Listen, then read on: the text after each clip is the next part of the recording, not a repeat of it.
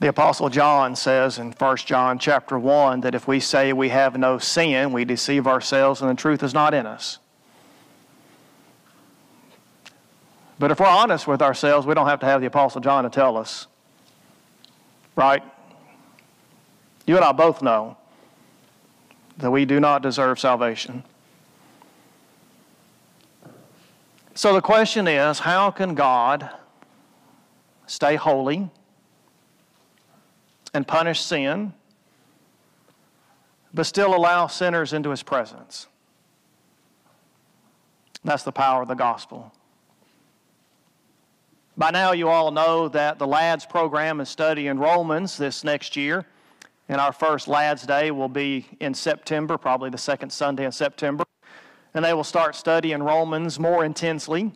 I think chapter 6, verses 9 through 16 or something like that's on the table in the uh, foyer and by the door out there if you're studying Romans with us.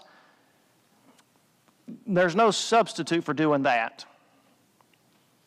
You can be here and you can listen to me and you can read through Romans chapter 3 with me tonight, but there's no substitute for you spending time yourself looking at the text. And so I encourage you to do that.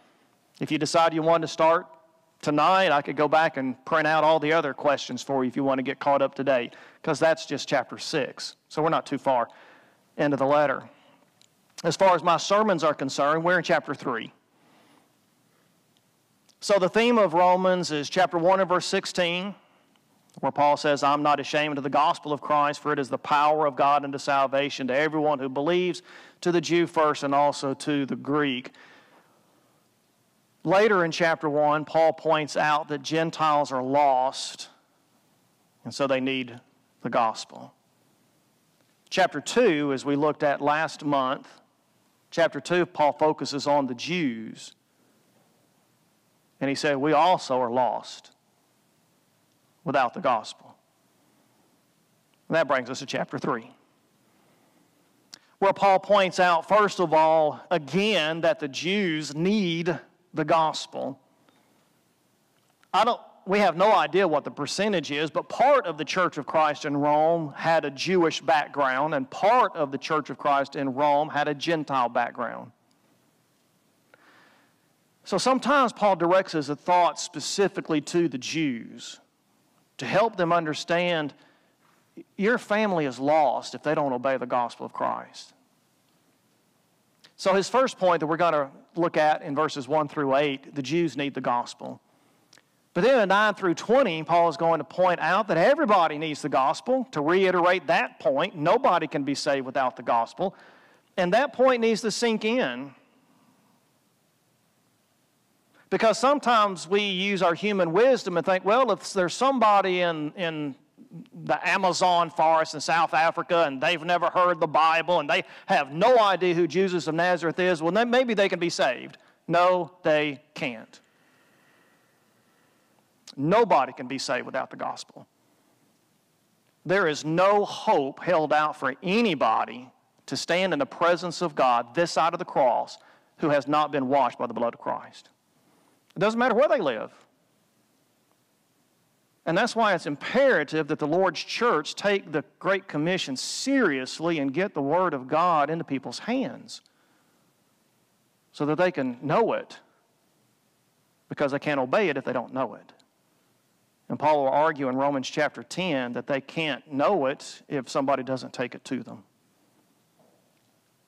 That's why missions need to be at the the top of our list of things to do. And then in back to chapter 3, in verses 21 through 31, Paul will answer that question how can God be just, holy, and justify sinners at the same time? We'll get to there in just a moment. Let's begin in chapter 3 and verse 1, where Paul talks about the fact that the Jews need the gospel. Now, in these first five verses, Paul will ask four significant questions as we read through here. Pay attention to these questions. What advantage has the Jew? You could imagine that those Jewish Christians in the church in Rome were asking that question. If people are saved without the law of Moses, which is what Paul pointed out in chapter 2, if people can be saved without the law of Moses, then what good is it to be a Jew? The second question is kind of related to that. What profit was circumcision? If people can be saved without being circumcised. Again, Paul pointed that out in chapter 2. So, what good is it? His Jewish Christian audience might ask him. Question number three is Does the, the unbelief or the, the rejection of God's plan in Christ from the Jews, does that nullify God's plans? Does that nullify God's promises, God's faithfulness? That's the third question. And the fourth is since man's sin is overruled by God, since the Jews' disobedience is overruled by God to bring Jesus into the world, how can it be just for God to punish those whose sins were so used? So let's go back and take a look at what Paul, at what Paul says. Verse 1 Then what advantage? Remember, let's go back up to chapter 2, verses 28 and 29, where Paul says physical circumcision means nothing to God now. When God looks down from heaven, he says, Who down there are children of Abraham by faith? He's not looking to see whether or not they're circumcised physically. Verse 29, he's looking to see if they're circumcised spiritually. That's what makes the difference. So, chapter 3, verse 1 then what advantage has the Jew? Or what is the benefit of circumcision? Great in every respect. Now, for him to say that, you expect him to make a big long list, wouldn't you? Well, he's only going to mention one thing here. He's going to come back to that list in chapter 9. So, right now, he says, Great in every respect. First of all, that they were entrusted with the oracles of God. Doesn't it help to be faithful to God if you've got the Word of God? So the Jews were given God's message, Mount Sinai, Law of Moses. In fact, in uh, verses 9 through 18, he's going to quote from Psalms and Isaiah and refer to that as the law as well. So the whole Old Testament the Jews had. They, of all people, they have, should have been faithful to God. And they should have been prepared for the coming of Jesus Christ. That was their, that was their purpose.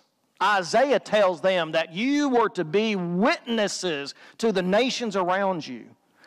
And so God's plan was for the Jews to be faithful to God until Jesus came. And when Jesus came, they would accept Jesus as the Son of God. They would become the first Christians. And then you would have a whole mass of missionaries going out into the world. Except the Jews, by and large, didn't accept that. We all know they turned their back on God and gave themselves to idolatry. So God had to focus on the remnant. But they had the oracles of God. If some did not, verse 3, what then? If some did not believe, their unbelief will not nullify the faithfulness of God, will it? So, even though the majority of Israel turned their back on God, does that nullify God's faithfulness? Does that change God's plans? Because the majority of the world does not obey the gospel, does that mean God's going to change his gospel? Does that mean that God is unfaithful? Look at Paul's answer. May it never be. In the Greek language, that's as emphatic a negative as it can be. If Paul were writing in bold, he would have put that sentence in bold. In Greek, it's me genoito, it's the negative side of the word amen. Okay, so amen means may it be. It comes from the Hebrew verb that means it is true. So amen means I agree that what you've said is true. This is the negative part of that. It is absolutely not true. So Paul says it is absolutely not true that the disobedience of the Jews nullified God's faithfulness. But he goes on to say in verse 4 Rather, let God be true, though every man be found a liar. And then he goes on. He just says, It is written that you may be justified, God may be justified in your words and prevail when you are judged.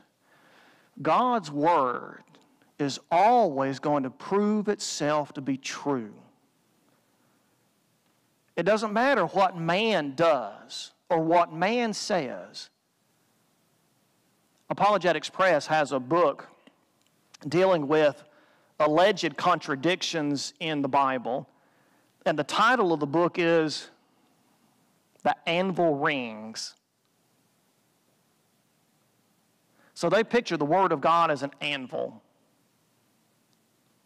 You know, you use an anvil to pound and bang metal into the shape that you want it to be in because nothing's going to break an anvil. Well, nothing's going to break the Word of God.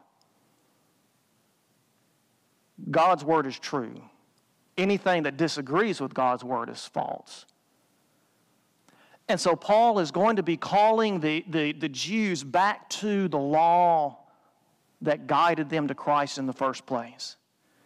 So God is justified in His words, and when God condemns the disobedience of the Jews, God is justified in that. And even if Israel critiques God and judges God, God's going to prove to be true. We have people in our society who want to, who want to think that they can judge God. The God of the Bible is not fair. The God of the Bible is not smart. The God of the Bible is not this. He's not that. Well, you just keep on saying that. And you'll find out how hard the anvil is one day. So Paul says in verse 4 let God be found true, but every man be a lie. There's a tract, you old Christians, older Christians, recognize this tract. Uh, something is wrong, but the Bible is right. Y'all remember that? It was a little, it was a little booklet actually, where it quoted from uh, manuals and catechisms and creeds of different denominational churches, and then it had the Word of God printed out there beside it. Where you could, you could see what man says, and then you could see what God says beside it. Let God be found true, and every man be found a liar. Paul goes on to say in verse 5 if our unrighteousness, now he's talking about the Jews' unbelief back in verse 3. If our unrighteousness demonstrates the righteousness of God, what shall we say? The God who inflicts wrath is not unrighteous, is he? I'm speaking in human terms. Do you want to see the holiness of God? Look at the unholiness of man. If you want to understand the righteousness of God, look at the unrighteousness of man, because God is the exact opposite. Take all of the really good people that you know, all of, all of the good, outstanding Christians you know. And there's some negative in there, isn't there? Pull out all the good qualities out of them. And God is those good qualities to the nth degree. That's the perfection of God.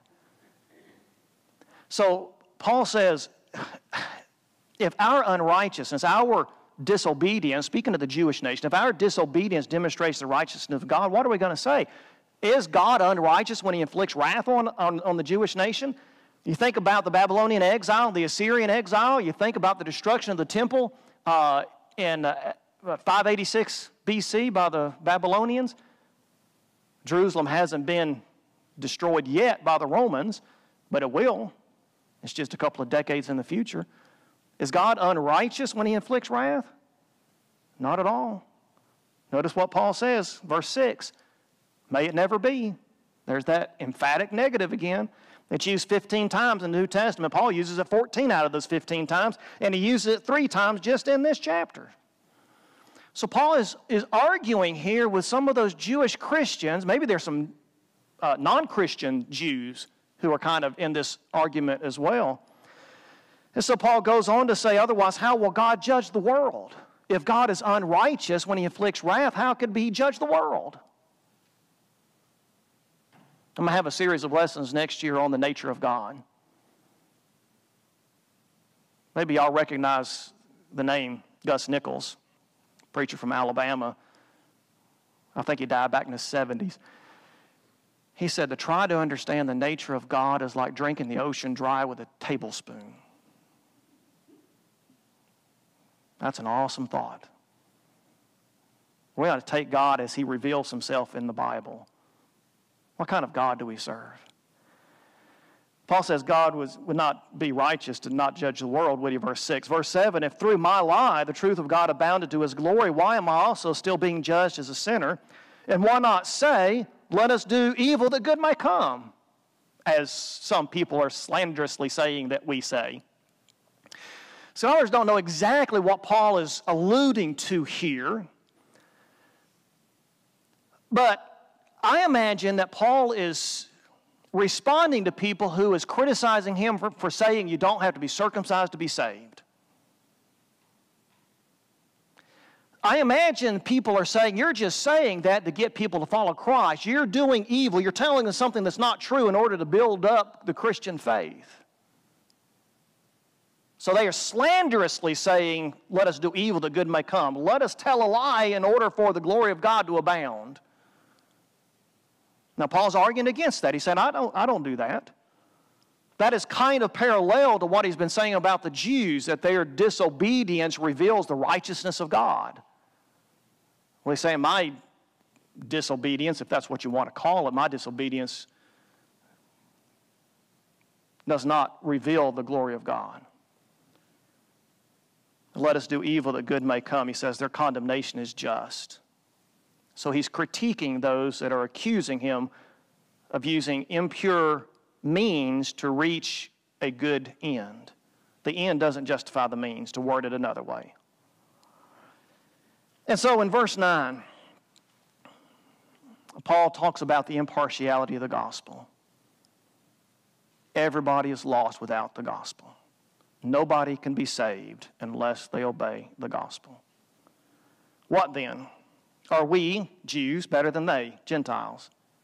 Not at all. Paul says we've already charged that both Jews and Greeks are all under sin. Everybody's lost, Paul says. That's what I proved in chapter 1, and that's what I proved in chapter 2. Everybody's lost. Now, again, the Jews believed that they were God's gift to the world. When God promised Abraham in Genesis chapter 12, I'm going to bless the world through your seed, the Jews understood the word seed there to refer to them. We are God's gift to the world. And that's not true, of course. First of all, the seed is actually Jesus. That's Galatians 3 and verse 16. And so, secondly, the blessing of the world through the seed of Abraham was referring to Jesus. And yet, here, Paul is going to go back to their scriptures He's going back to their scriptures to show them that their thinking is wrong. And so, beginning in verse 10 through verse 18, Paul has six quotations from the Old Testament. Five of them are from the book of Psalms, and one of them from the book of Isaiah, to show the Jews that their own book condemns them. And that's why they need a Savior. Verse 10 he quotes from Psalms 14, verses 1 through 3. There is none righteous, not even one. There is none who understands. There is none who seeks for God. All have turned aside. Together they have become useless. There is none who does good. There is not even one. if you want to get into a Bible study with somebody, you just read those verses to them and ask them, on what grounds are you going to stand before God on the day of judgment? Nobody has done good. Nobody deserves heaven. Beginning in verse uh, 13, he quotes from Psalms 5, verse 9. Their throat is an open grave. With their tongues they keep deceiving. Psalms 140, verse 3. The poison of asps is under their lips.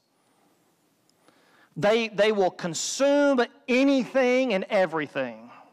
I think that's referring to lying, it's referring to stealing, it's referring to extortion. They can consume everything that everybody else has, they want it all. And of course, they're also deceptive. The poison of asps is under their lips. So they're dangerous with their tongue. Verse 14, he quotes from Psalms 10 and verse 7 whose mouth is full of cursing and bitterness. 15, here's where he quotes from Isaiah 59, verses 7 and 8. Their feet are swift to shed blood. destruction and misery are in their paths, and the path of peace they have not known. And then back to Psalms 36 and verse 1. There's no fear of God before their eyes. Paul is saying to these Jewish Christians, this is what your own Bible says. Nobody's right in the eyes of God. We need a Savior. And so he kind of summarizes that in verses 19 and 20 when he says, Now we know that whatever the law says, notice he's just quoted from Psalms and Isaiah, and he says, Here's what the law says. It is true that the Jew did not just view the, by the time of Jesus, the Jew did not view the law as just being Genesis, Exodus, Leviticus, Numbers, and Deuteronomy. They viewed the whole Old Testament as being the law of God. And to prove that a second time, and I can't give you the exact verse, in a discussion one time with somebody about mechanical instruments of music and worship, you point out the fact that the law of Moses has been nailed to the cross. That's why David could use mechanical instruments of music. Of course, God commanded him to, and why we can't. Their response was there's mechanical instruments of music in the book of Psalms. Psalms is not a part of the law of Moses, therefore, it's okay to keep using them. The person who made that argument did not know what he was talking about. It wasn't hard to prove that. You know how I proved it? I looked up the word law in Matthew, Mark, Luke, and John, and found in the Gospel of John where Jesus uses the word law to refer to the book of Psalms. That doesn't take special education. It just means I'm not going to drink the Kool Aid. I'm going to go back and double check and see if what he says is true. So, the Jews, the mentality of the Jews by the time of Jesus was that the law included everything in the Old Testament. And basically, that's what Paul is saying here in verse 19. So, we know that whatever the law says, it speaks to those who are under the law, so that every mouth may be closed and all the world may become accountable to God. So, Paul is saying your law shows that you are lost, and your mouth should be closed. Did you ever get into a back and forth with your mom or dad and they said, Shut up? Basically, that's what Paul is telling the Jews right here. You're not God's gift to humanity, and you're not righteous enough to go to heaven. Verse 20. Because by the works of the law no flesh will be justified in his sight, for, the, for through the law comes the knowledge of sin. Family, if you take Jesus out of the picture, take Jesus out of the picture, and those animal sacrifices in the Old Testament didn't do squat. The only way those animal sacrifices could provide atonement, and in fact they did provide atonement, let me back up and say that when the, when the Jews offered those animal sacrifices, they were forgiven of their sins right then and there but only because God knew Jesus was coming into the world. That's the only reason why those animal sacrifices had, had any power, because Jesus was coming. These Jews that Paul is trying to argue with here, they don't believe that Jesus is the Messiah. They're trying to take Jesus out of the picture. And so that's why Paul is arguing there is no justification under the law. You can't be right with God by offering animal sacrifices that just won't work. So here's the question How can you be right in the eyes of God and God stay holy? That's verses 21 through 31. Verse 21. But now, apart from the law, the righteousness of God has been manifested, being witnessed by the law and the prophets. The whole point is man is saved by faith when he does what God tells him to do. Jesus comes from God to show us how to be right with God. So the law and the prophets, Habakkuk 2 and verse 20, the righteous shall live by his faith. Paul will quote that verse in, in Galatians. So the righteousness of God has been manifested. It's been witnessed by the law and the prophets. They've pointed to the coming of Jesus Christ. Verse 22, even the righteousness of God. Now notice how many times he refers to the righteousness of God in this text. Verse 21, verse 22, verse 25, and verse 26. How can God be right and still justify sinners? Verse 23 even the righteousness of God through faith in Jesus Christ. For all those who believe, for there is no distinction. Cornelius, the first Gentile convert, was saved the same way that the Jews were saved on the day of Pentecost in Acts chapter 2. It wasn't through the coming of the Holy Spirit, it was by believing and obeying the gospel of Christ. There is no distinction.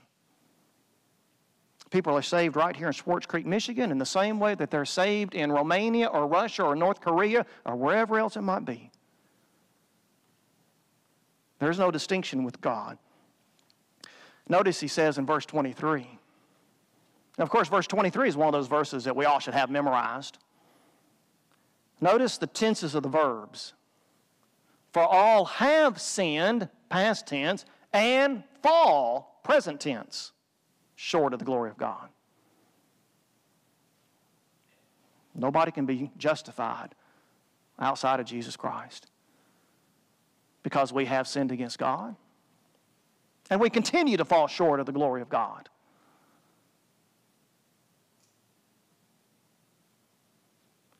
I read one time that I think it was a police officer or maybe a lawyer who estimated how many times that the average driver violates a traffic law within a city block. It's like a 10 or 12 times. When you make a left hand turn, do you turn immediately into the left lane or do you turn into the right lane? You're supposed to turn into the left lane. People violate that all the time. When it comes to the law of God, family, you and I probably violate the law of God on a regular basis. We fall short of the glory of God. You think about how Jesus responded to the people, and we don't respond the same way. And when I mean me, we, I mean me too. We fall short of the glory of God. And so we need a Savior.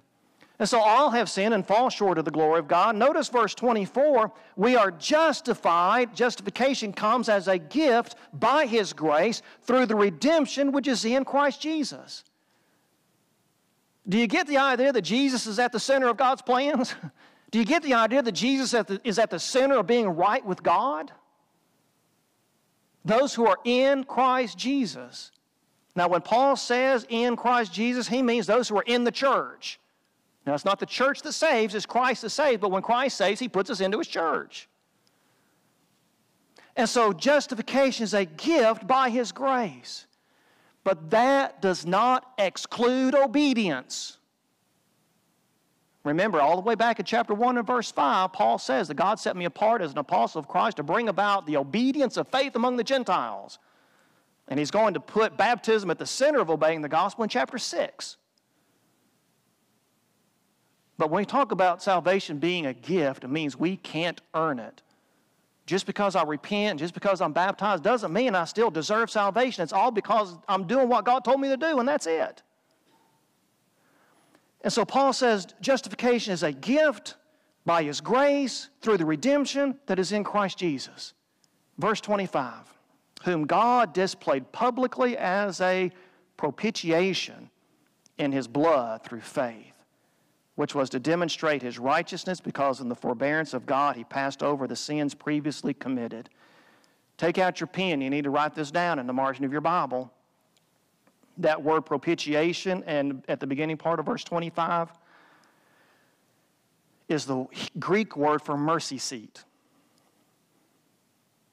When the Hebrew Old Testament was translated into Greek, which is the Septuagint, this word right here, hilasterion in Greek, is the word the translators use for mercy seat.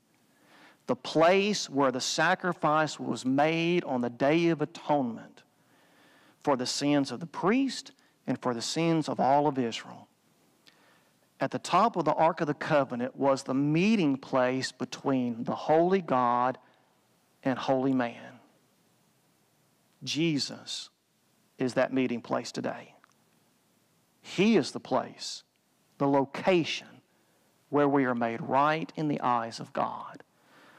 So Paul says God displayed Christ publicly as our mercy seat in his blood through faith for God to demonstrate his righteousness because God was patient. We see the forbearance of God throughout the Old Testament so that he passed over those sins previously committed. So God allowed those animal sacrifices to atone for the sins of Israel because God knew Jesus was coming. Otherwise, the blood of bulls and goats do not take away sin, Hebrews 10 and verse 4.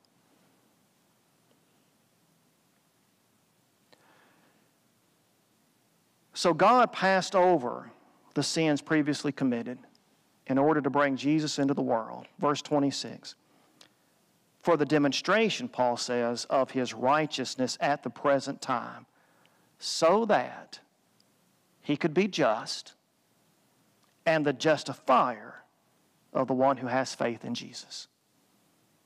So, how is it that God could be holy and be just and punish sin and still allow sinners into his presence? By making a way for us to be forgiven through His Son. Jesus is that sacrifice. Jesus felt the wrath of God. Jesus drank from the cup of the wrath of God. Remember, we studied about the cup of the wrath of God from Revelation chapter 14. Jesus said, I'm going to drink the cup of the suffering. He's referring to the cup of God's wrath. He drank that for us. We've just got to be connected to Christ. And he'll talk about that in chapter 6. That's how God is just and the justifier of those who have faith in Christ. So, verse 27. Where then is boasting? Where are you going to brag? On what grounds are you going to brag? On what basis are you going to tell, look God in the eyes and tell him, I deserve heaven? How many good works are you going to do in order to look God in the eye and say, I deserve heaven? You can't. It's excluded. By what kind of law? The, the law of works? No, because that's not where, how salvation is found. By the law of faith. The law of the gospel. Trusting and obeying Jesus Christ. For we maintain that a man is justified by faith apart from the works of the law. Circumcision was the big question in that day and time. No, we're not justified by circumcision. We're not justified by the law. We're made right. And the word justification means to be made right. It carries the idea of being acquitted. Recognizing, yes, that you're guilty, but I'm going to treat you as if you're not. That righteousness, that justification, that acquittal is found through Christ. Not from works of the law, but through faith. Verse 29. Or is God the God of Jews only? Does he only save the Jews who obey the law of Moses? No. Is he not also the God of the Gentiles? Yes of Gentiles only. Also, that's why the law of Moses had to be nailed to the cross because Gentiles couldn't be saved under the law of Moses. So they needed the law of Christ. They needed Christ to come so that they could be saved. Verse 30 Since indeed God, who will justify the circumcised by faith, with the uncircumcised through faith, is one. It's all by faith. We trust God. We trust Jesus. Because he raised Jairus' daughter from the, from the grave, because he raised the widow of Nain's son from the grave, because he raised Lazarus from the grave, and because he raised himself from the grave. That's why we trust him. And if we trust him, we'll obey him. Verse 31. Do we then nullify the law through faith? Paul says if we are saved by faith and not by the law of Moses, does that nullify the law? Not at all. He says we, in fact, establish the law. Notice he says, may it never be, verse 31. On the contrary, we establish the law. The law was the tutor to bring us to Christ. Once we come to Christ and we have faith in Jesus Christ and we obey the gospel of Jesus Christ, that proves the law was true. Jesus is the purpose of the law. He'll say that in Romans chapter 10. Jesus is the goal of the law. And so to say that we are saved by faith in Jesus Christ really just brings the law to its perfect conclusion. It is fulfilled in the coming of Christ. That's what Jesus meant when John the Baptist said, uh, I, I have need to be baptized by you, and you're coming to me to be baptized. And Jesus says, Allow it to be so, for we must fulfill all righteousness. What Jesus means is the law of Moses was trying to provide righteousness, but it couldn't on its own. Jesus Christ is the one who comes to fulfill that call for righteousness. Jesus fulfilled the righteous plan of God, beginning at the point when he was baptized. So, yes, we are justified through Jesus Christ because he drank the cup of God's wrath in our place. And because we can be saved by his death and we can be justified by his life, and that's how we can be right with God. That's the power of the gospel. And that's the message everybody needs to hear. If we can help you tonight in your effort to obey the gospel, let us know what we can do while we stand and sing.